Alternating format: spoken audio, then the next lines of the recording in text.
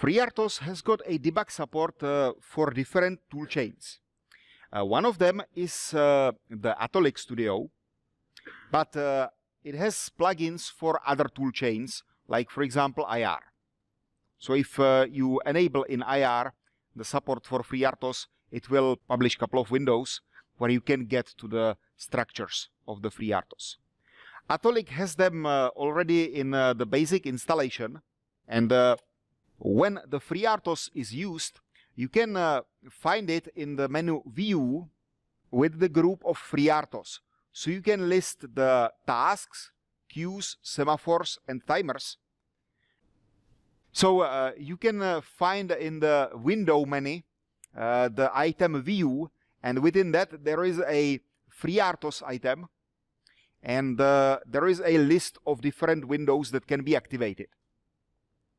So please open it in a debug mode and uh, see uh, that uh, you can really observe a list of your tasks.